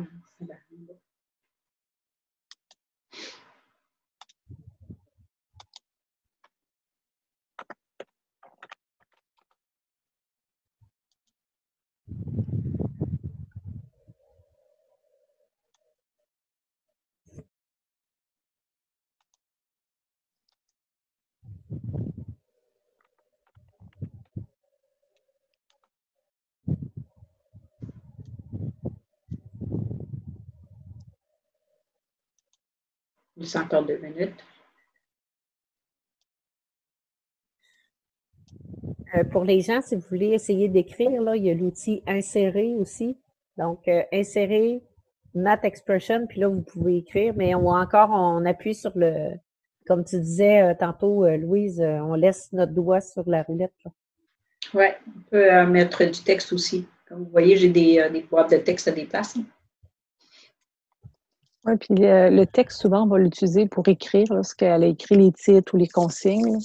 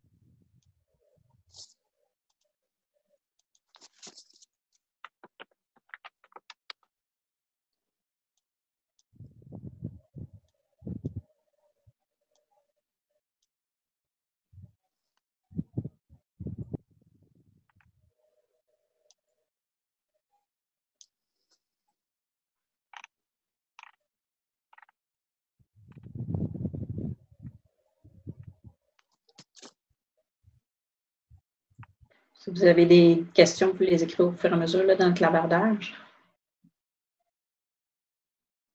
Bonjour, euh, monsieur ou madame Berthiaume qui doit quitter parce qu'il y a un cours avec ses élèves. On comprend qu'il y a d'autres obligations.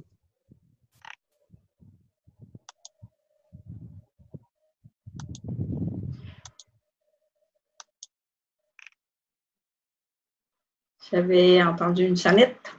Oui, bien c'est ça, quand les gens quittent. euh, ça Ah, d'accord. Ouais, c'est ça. OK, on va reprendre. Je vais reprendre euh, en gros là, les, euh, les différentes, différents trucs. Là, ce que je n'ai pas pensé, mais j'aurais pu mettre une vidéo YouTube, c'est dans, dans le menu en haut ici, vous avez inséré. Donc, maths, expression puis fonction, je n'ai pas vu encore la différence entre les deux. J'amène le clavier. Donc, le clavier est en bas ici. On peut insérer euh, du texte, des vidéos YouTube, puis des fenêtres euh, GeoGebra. J'ai un petit exemple euh, ici pour tout à l'heure pour, les exemples GeoGebra. C'est les mêmes choses qu'on peut insérer. Il y a juste YouTube qui n'est pas dans la roulette. les fonctions, les graphiques GeoGebra ou le texte. Quand on insère du texte, généralement, c'est pas. bon, mettons, j'écris voici les consignes. Euh, Il n'y a pas d'édi- d'éditeur de texte. Vous ne pouvez pas mettre en gras, en italique ou quoi que ce soit, mais vous pouvez grossir un peu. Puis là, ben, si vous voulez l'avoir plus euh, sur une même ligne, il y a l'outil Arrange ici. Quand vous cliquez, je ne sais pas s'il y en a qui l'ont essayé, quand vous cliquez sur Arrange, c'est la façon d'enlever les boîtes. là. Les trucs que je veux enlever, il faut que je clique sur Arrange. Euh, je peux déplacer aussi plus facilement. Puis, je peux, avec mes boîtes de texte, ici, agrandir. Donc, c'est avec la fonction Arrange qu'on peut replacer notre texte correctement.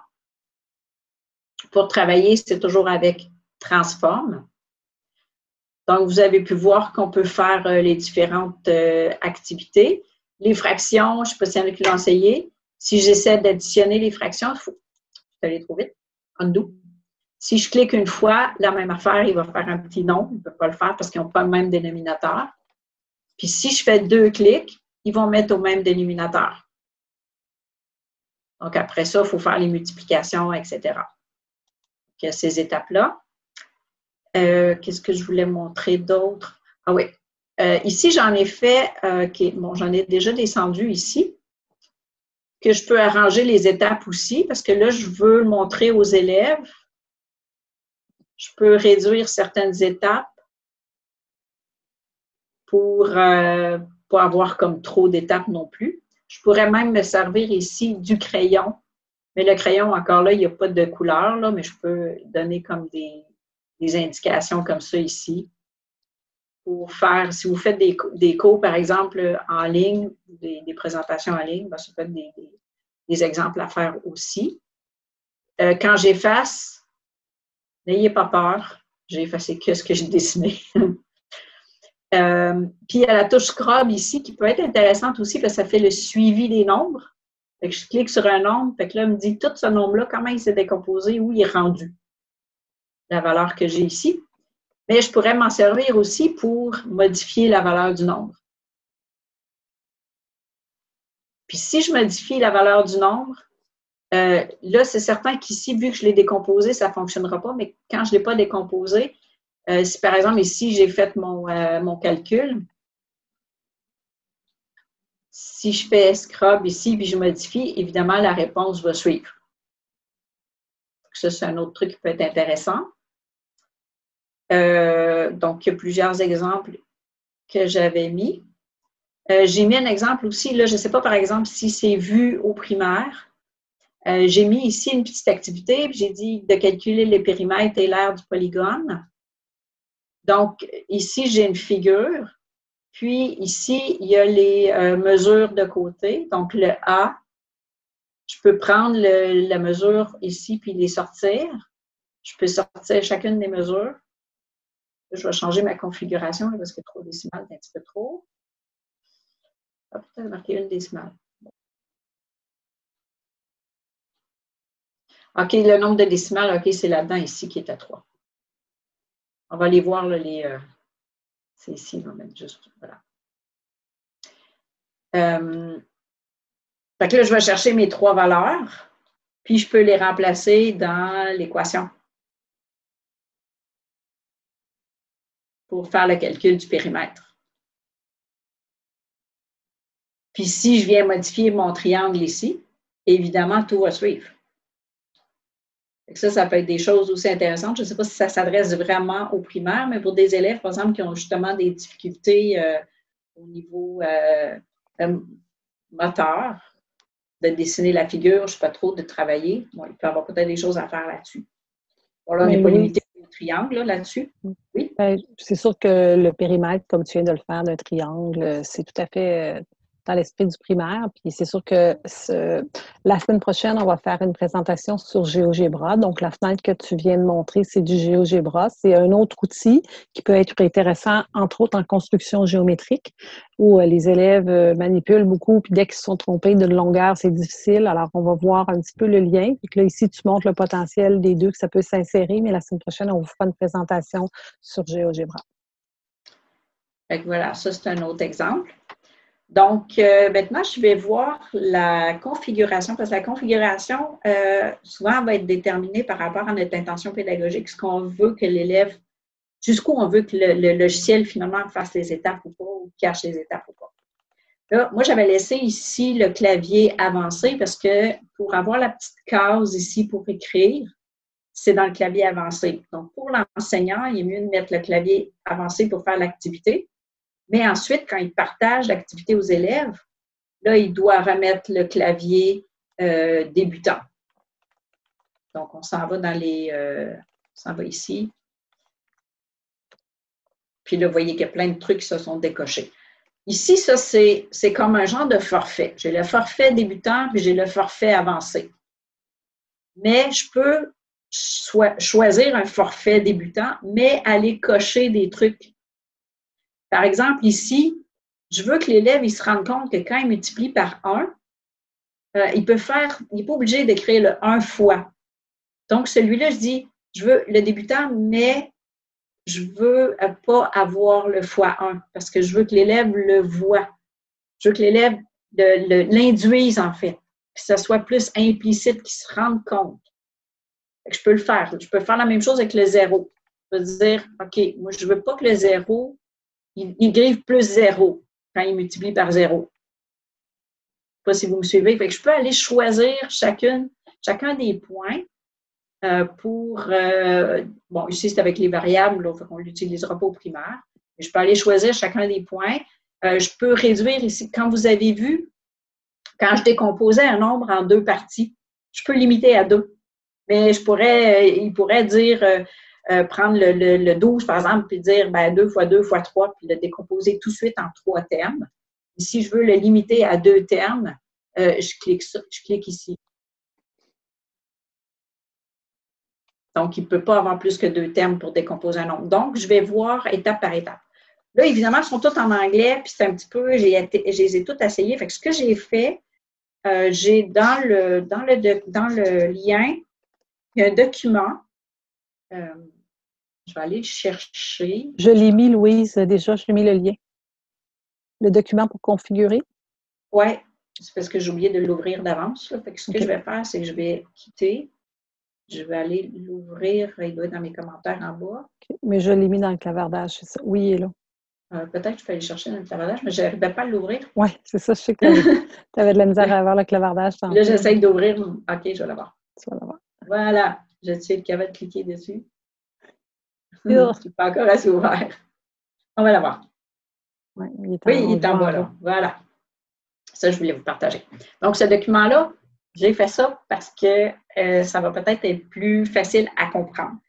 Moi, je trouve ça important, euh, la configuration, justement, comme je vous disais, par rapport à l'intention pédagogique. Est-ce que je veux que l'élève fasse tout, que le, logiciel, quand l'élève fait ses étapes, il voit toutes les étapes, ou il y a des, des étapes que je veux les rendre implicites pour que l'élève euh, s'en rende compte, mais c'est ça, de façon implicite, sans les voir. Parce que souvent, à un moment donné, on ne les fait plus, ces étapes-là. Donc, ça peut être progressif. Donc, pour chacun des, euh, chacun, des paramètres, j'ai écrit une explication. Donc, je l'ai mis en anglais, je l'ai euh, comme traduit, comment ça devrait être en français. J'ai mis A et euh, D. Donc, A, c'est comme avancé. C'est ceux qui sont cochés par défaut quand c'est avancé, quand avez pris le forfait avancé. Puis ceux qui sont cochés par défaut quand euh, vous avez pris le forfait euh, débutant, mais toujours en disant je peux aller cocher et décocher à la carte. Donc, vous avez le choix entre les, deux. Puis il y en a qui n'ont pas de. Euh, ils ne vont pas être liés, par exemple, au forfait débutant ou avancé, comme celui que je vais montrer, là, limiter les réécritures au clavier, il n'est jamais coché. Donc, vous pouvez aller le cocher, celui-là. Donc, ceux que j'ai marqués C, c'est parce que ceux-là sont, sont jamais euh, cochés. Donc, vous avez toute la, description de chacun. Euh, il y a le symbole de multiplication aussi. Est-ce que vous voulez avoir un petit point ou un fois entre les deux? Donc, ça dépend comment vous travaillez avec les élèves. vous, avez tout ça, la configuration. Je pense que c'est de les essayer puis de regarder ce qui est bon. La configuration n'est pas attachée à votre compte, elle est attachée à l'activité. Au début, je trouvais ça un peu, euh, ben, je disais, ben, ce serait mieux si c'était à mon compte. Oups, je vois tout d'un coup les conversations arriver. euh, je vais fermer. Je vais retourner là. Donc, euh, mais en réalité, euh, parce que moi, à chaque fois que je l'ouvre, il est toujours configuré de la même façon. Mais en même temps, ce qui est, intéressant, c'est que moi, je peux travailler d'une certaine façon, mais quand je l'envoie aux élèves, je veux qu'il y ait une configuration particulière pour l'activité que je veux faire. Donc, c'est intéressant que la configuration est attachée euh, à l'activité. Par contre, il faut que je fasse ma configuration et après, je sauve mon activité. Donc, je peux sauver mon activité. Il faut que j'aille un compte pour sauver l'activité. Il faut que je, lui ai donné un nom. Je lui donne un nom aussi. Donc, je vais la sauver. Donc, tout ce que j'ai fait va être euh, sauvé. Euh, ce qui est intéressant aussi, c'est que si vous voulez faire des exemples, il n'y a pas de place où on peut enregistrer le fichier. Donc, moi, tous mes fichiers, ils sont là-dedans. Tout ce que j'ai fait, toutes mes activités, je les ai dans l'autre ici. Mais je ne les enregistre pas sur mon ordinateur. Euh, mais si je veux, par exemple, faire un exemple, je peux, par exemple, faire un exemple. Je veux faire un exemple de, façon de travailler, j'utilise l'outil capture de, Windows. L'outil capture, je fais, euh, je vais chercher ici l'outil capture, je sais pas si vous voyez. Puis je fais une capture d'écran. Ça me fait une image que je peux aller coller après ça dans un document Word, par exemple, PowerPoint, peu importe. Donc, si je veux avoir des captures d'écran, moi, je vais vous donner un petit truc. À un moment donné, j'avais des activités à faire, comme un genre de, de, des mises en situation à faire. Puis là, il fallait que je fasse le corriger. Faire un corrigé, puis c'était des trucs avec des équations, des x, des fractions, des parenthèses, en tout cas des exposants. C'est long avec l'éditeur d'équations de Word. Puis en plus, il fallait tout que je fasse les calculs sur ma calculatrice. Ben, j'ai pris ça, j'ai tout fait mon, ma démarche, j'ai choisi les étapes que je voulais, capture d'écran, je suis allée coller ça dans mon document. Voilà, ça fait un beau corrigé tout propre, beaucoup plus court à faire.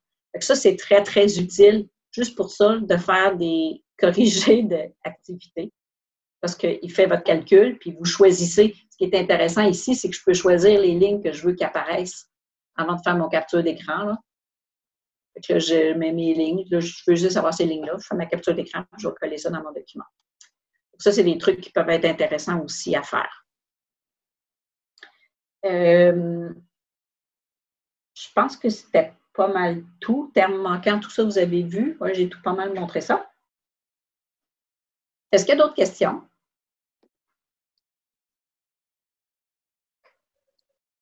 Ça va? Oui, les gens n'ont pas réagi dans le clavardage à ton explication. OK. Euh, ah oui, il faut que je mette les.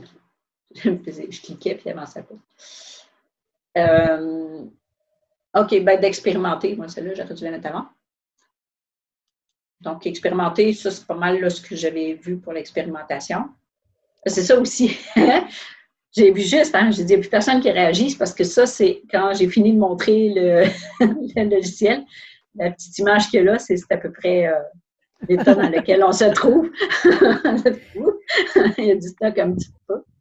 Donc, euh, en suivi, ce que je pourrais dire, c'est que l'élève, ça permet à l'élève de travailler à son rythme, d'expérimenter, puis surtout d'apprendre par l'observation plutôt que d'apprendre en suivant des étapes pour l'enseignant, ben, il peut voir les étapes de ce que l'élève euh, a fait. Puis, ben, il y a la question de capture d'écran. Euh, il y a un truc que j'ai oublié. Je, euh, non, pas là Je retourne. Dis-moi là, je vais te l'ajouter. non, fallait que je retourne ici. C'était juste. Là? Non. OK. Le Canva ici, vous avez euh, possibilité de partager dans un Google Classroom. Malheureusement, il n'y a pas encore euh, euh, OneDrive, celui de Teams, de Microsoft. on peut l'assigner à Google Classroom. Fait que là, c'est intéressant parce que quand vous l'envoyez aux élèves dans un Google Classroom, chaque élève reçoit comme la page qu'on a là. Sauf qu'après ça, vous pouvez aller voir ce que chaque élève a fait comme démarche. Puis là, l'élève n'a pas besoin d'avoir un compte dans Grasspaper parce qu'il a son compte de Google Classroom. Puis, vous pouvez l'envoyer par lien ici, par courriel. Puis, vous pouvez aussi avoir un code, ceux qui ont des pages euh, Internet, par exemple, un site Internet, la petite euh, euh, fenêtre peut s'insérer, par exemple, dans, une, dans un Moodle. Ça, je l'ai essayé dans un Moodle. J'ai un cours sur Moodle. Ben, vous pouvez avoir la petite fenêtre Grasspaper avec l'activité qui est dedans. Donc, il y a quand même des options de partage aussi. Euh, il y a les formules aussi, mais ça, je pense que les, formules, c'est plus pour euh, le secondaire. Voilà, ça, j'avais oublié. Donc, euh, si vous voulez partager vos impressions et tout, si vous avez des commentaires à faire, pouvez toujours nous écrire après hein, si vous avez des trucs, des questions. Euh, il y a la page Facebook, il y a le Twitter, euh, il y en a nos adresses de courriel. Souvent, quand quelqu'un dit Moi, j'arrive pas à faire tel, tel truc, je fais une petite, je fais une petite euh, vidéo, puis j'envoie la vidéo pour expliquer comment faire. Parce que je voyais, en fait, moi, ce que je voyais aussi, Louise, puis j'en parlais ce matin, moi, ce que j'aime beaucoup là, de, de l'outil, jusque au niveau visuel, euh, je pense à euh, mes élèves autistes, par exemple, qui ont besoin vraiment qu'on déploie visuellement toutes, chacune des étapes. Euh, pour moi, je pense que ce serait un avantage, du moins en, en apprentissage, là, en mm-hmm. enseignement, pour lui permettre d'accéder justement à, à la démarche de comment on s'y prend, puis pourquoi les nombres se fusionnent ensemble. pour ça, je trouve ça euh, mm-hmm. extrêmement euh, visuel, puis je pense que c'est très utile.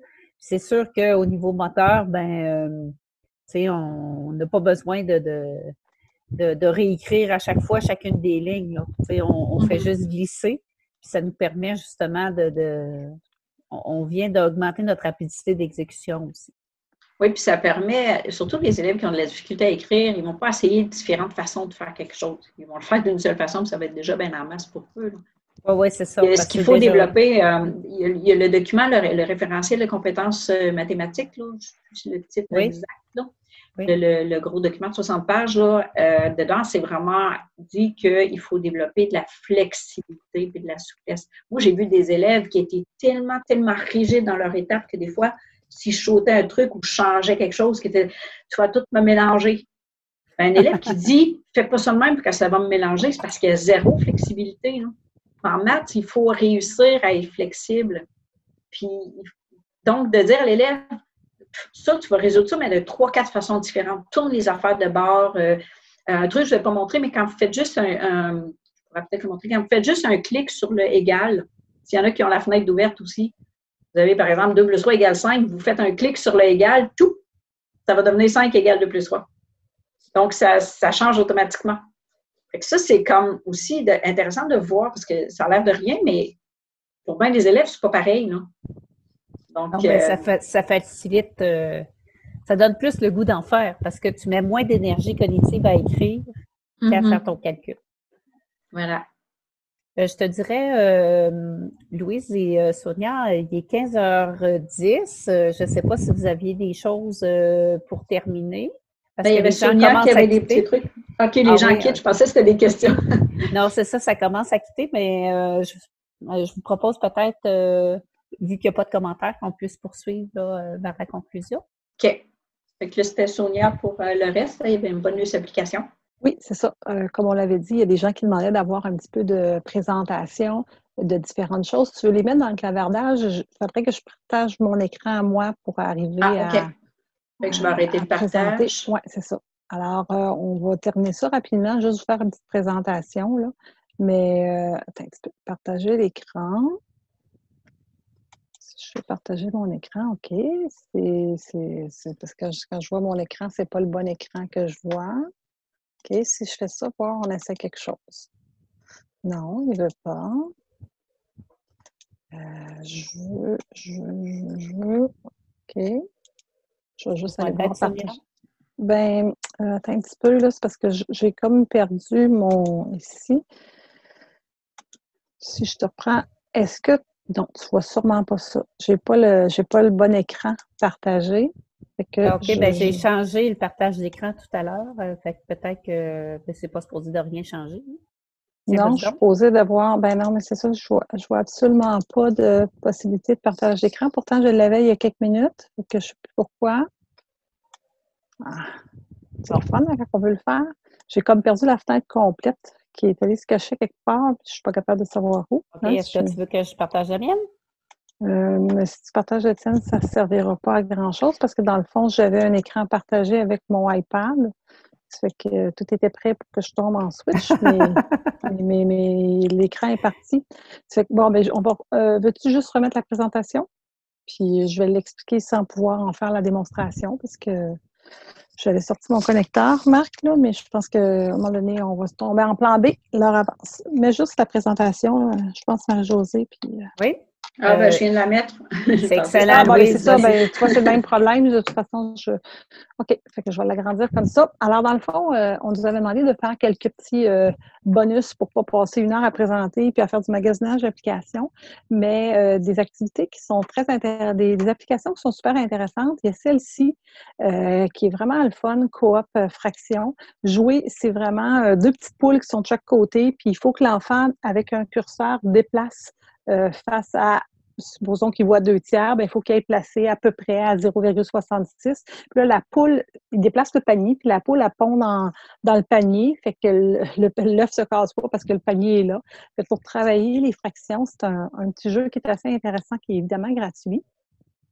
Euh, l'autre, qui est 2048, peut-être est connu euh, aussi souvent, mais ça sert à déplacer euh, pour penser aux exposants. Donc, 2 fois 2, ça fait 4, 4 fois 4, 2 fois 2 fois 2, ça fait 8. Alors, c'est vraiment de, de, travailler beaucoup, beaucoup au niveau de la résolution de problèmes, de la stratégie, comment déplacer, mais aussi de travailler, une belle façon de travailler les tables, les exposants. Fait qu'il y a quelque chose là à aller chercher.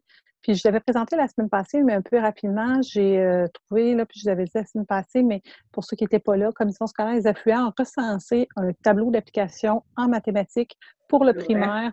Euh, oui, c'est celui-là. Donc, euh, par, vraiment par champ mathématique. Donc, une série d'applications. Évidemment, on retrouve ceux que j'ai présentés la semaine passée de Math Learning, mais il y en a beaucoup d'autres. Fait que ceux qui seraient à la recherche, dans le fond, là, on les présente en tableau, puis un peu plus bas, il y a dans le fond chacune des applications. Euh, la plupart sont gratuites, même si de temps en temps, il y en a qui deviennent payantes. Là. Puis un peu plus bas, on a dans le fond à quel cycle, mais surtout la description de chacune des applications, donc avec un petit résumé qui est quand même bien à jour. Alors, euh, ça a du bon sens. Fait que ceux qui auraient le goût d'aller voir un petit peu d'applications, vous pourrez aller faire un tour là-dessus. Ça vous donne un petit magasinage intéressant. Alors, au niveau du petit bonus de la semaine, c'est les deux petites applications qu'on voulait vous présenter. Si tu veux revenir à la présentation. Euh, j'ai réouvert le document, mais il me semble que personne n'avait ajouté de commentaires, questions, préoccupations. Alors, si jamais ça vous vient, euh, n'hésitez pas, comme on disait, à nous écrire ou à l'écrire là-dedans, on vous fera un suivi. Si tu veux aller à la suivante. Euh, si tu veux réouvrir, dans le fond, la grille d'analyse avec l'intention d'écoute, puis euh, un petit peu reprendre la parole, euh, Marie-Josée, pour la COPS. Oui. Ben, en fait, oui, c'est ça. donc, la grille d'analyse, en fait, je vois qu'il y a déjà, on a déjà noté quelques idées.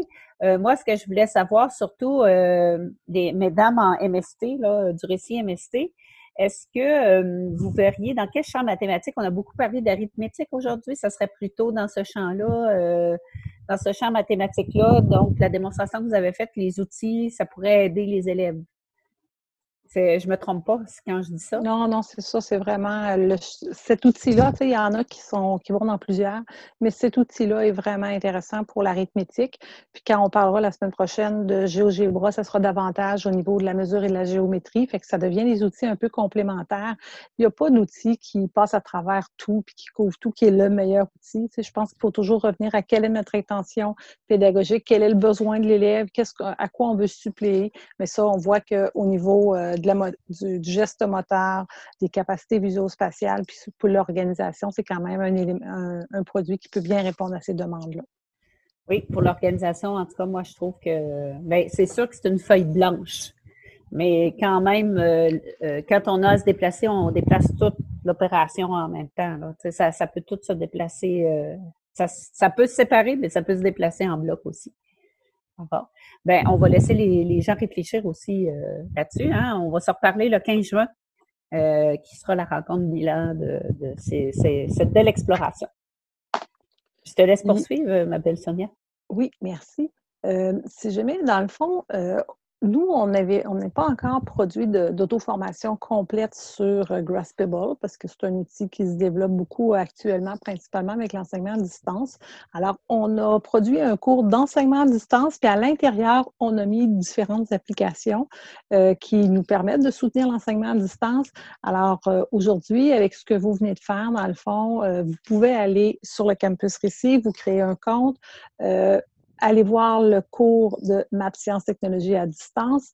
Et si vous avez le goût, vous pouvez faire la demande. Euh, dès que vous allez avoir lu des, euh, dans le fond des sections, vous allez recevoir le badge découverte. Mais ce qu'on vient de vous présenter, c'est même plus que ça. Et comme vous avez aujourd'hui essayé une activité, bien, vous pourriez faire une capture d'écran ou mettre le lien, hein, parce que là, on a un lien possible, et pour faire la demande, euh, dans le fond, du badge d'appropriation qui démontre que vous êtes approprié un outil en mathématiques à distance. Alors, le but des badges, c'est de reconnaître le développement professionnel des gens, de reconnaître que les gens sont vraiment euh, au travail, qui acquièrent une certaine expertise et qui développent leurs compétences numériques. On vous a parlé de cadre de référence au départ où on, demande aux enseignants de devenir plus habiles technologiquement. Donc, ça, c'est une façon de, de reconnaître cette expertise-là puis de s'inscrire officiellement dans un peu une démarche d'exploration, un peu comme avec la COPS. Alors, on voulait vous la nommer tout simplement. La semaine prochaine, je fais un atelier euh, grâce Pebble, mais avec l'approche inductive, les différentes façons d'avoir euh, une approche inductive avec le logiciel. C'est sûr que je vais toucher euh, primaire, mais beaucoup secondaire aussi. Et si jamais vous avez des gens que ça peut intéresser, je pense que c'est mardi après-midi. L'atelier, c'est un atelier d'une heure et demie. On vous invite à la diapo suivante euh, à compléter un petit formulaire où vous nous laissez votre adresse. Je sais que vous le faites dans le cadre d'une COP, mais s'il y a des gens qui ne sont pas dans la COP, vous pouvez nous dire euh, à quel, euh, dans le fond, votre adresse courriel pour qu'on puisse faire un suivi. Euh, à l'autre euh, diapositive, justement, ça, ça trahit mon âge.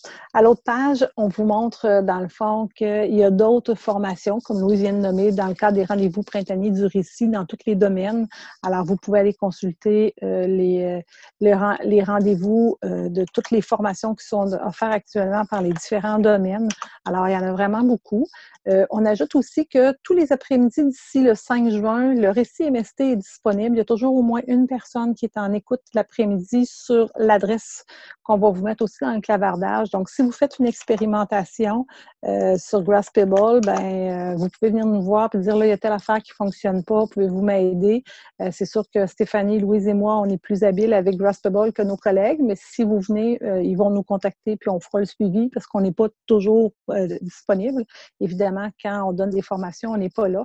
Alors, il y a toutes sortes d'autres choses, mais c'est un lien qui est ouvert pour répondre à tous les après-midi. Il y a au moins une personne qui répond. Alors, et à la dernière diapositive, dans le fond, on vous dit qu'on est là, vous pouvez nous écrire. Et si, euh, si les bonnes vieilles méthodes reviennent, ben peut-être qu'on on vous offrira l'an prochain une formation plus spécifique sur ces outils-là. Je pense que là, on est vraiment dans une démarche euh, d'accompagnement à distance, puis euh, partir une COP pour éventuellement évoluer, puis voir jusqu'à quel point ça soutient les élèves en difficulté. Alors, euh, pour ma part, ce serait terminé. Je laisserai le mot de la fin à Louise et Marie-Josée.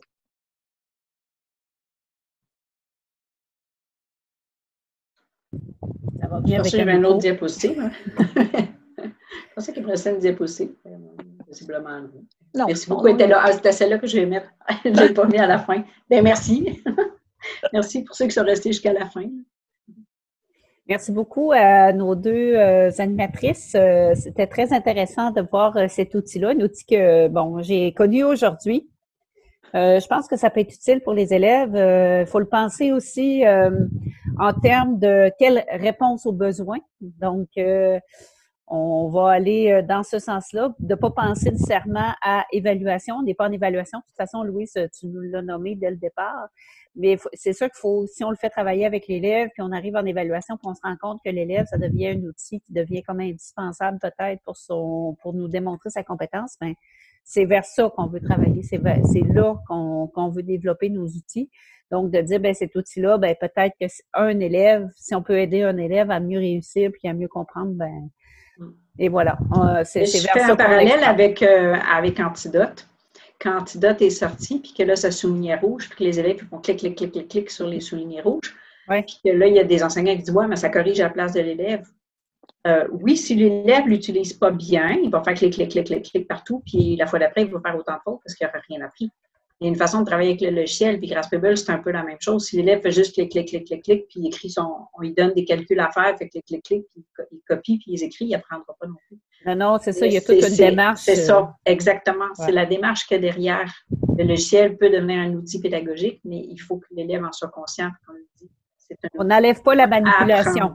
On n'enlève pas la manipulation, ni l'apprentissage des concepts, ni l'enseignement explicite. C'est vraiment, euh, ça fait partie euh, de la démarche. Oui. Voilà. Eh je vous remercie encore une fois, tout le monde. donc, euh, on va rester en ligne jusqu'à 15h30 s'il y en a qui ont des questions plus personnelles. donc, je vous souhaite une belle fin de journée, tout le monde. Puis, merci beaucoup de votre présence. On se reparle bientôt.